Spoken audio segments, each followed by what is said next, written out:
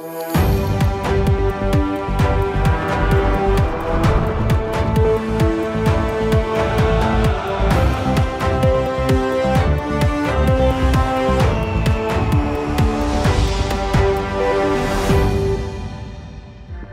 Военнослужащий-контрактник погиб в ДТП на северном обходе Ростова. По словам очевидцев, это было лобовое столкновение с машиной ВАИ. Шансов сотрудника военной автоинспекции не было. Он получил травмы, несовместимые с жизнью. Командование военной полиции совместно с правоохранителями устанавливает обстоятельства аварии. Переоборудованные под ковидные госпитали больницы Ростова возвращаются к обычной работе. Эпидобстановка позволяет. Загруженность специально подготовленного коечного фонда меньше половины. В шестой горбольнице под госпиталь был перепрофилирован почти весь стационар, подготовлены две сотни коек. Сейчас здесь лечатся 68 пациентов с ковид. В терапевтическом корпусе, а новых таких больных принимать не будут. Хирургическое и гинекологическое отделение уже вернулись к плановому приему пациентов. Мы работаем по нашему профилю круглосуточно.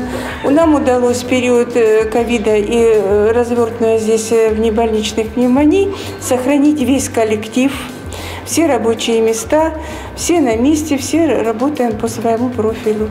Под ковидные госпитали в Ростове было перепрофилировано 6 медучреждений. Сейчас пациентов с коронавирусом принимают только в трех – Центре здоровья, 20-й больнице и ЦГБ. При этом ЦГБ тоже начали переводить на оказание плановой медпомощи. Частично начнут сокращать койки и в КДЦ здоровья.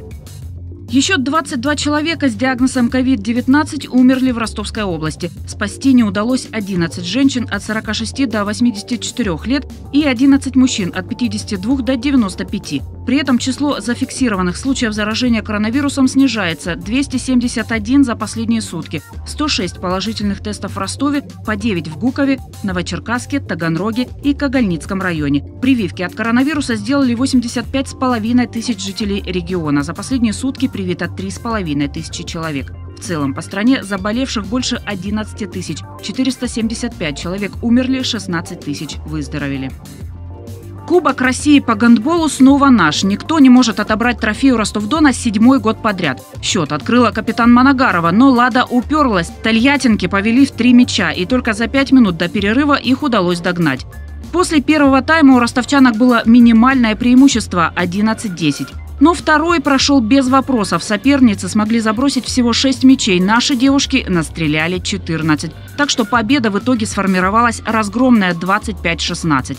Самой результативной стала Моногарова с пятью голами. Она же получила кубок из рук губернатора. Наших девушек этим трофеем не удивишь, а вот для главного тренера он стал первым в Ростове. Особенно доволен нашей защитой, она в приоритете. Наши вратари оба матча отработали хорошо. Насчет празднования у нас будет в узком кругу небольшое празднование. Борщ и водка. Но я уже плавно переключусь на игру с пудровкой. Про борщ и водку Юхансон, понятное дело, шутит. Игра Лиги чемпионов в Хорватии уже в субботу.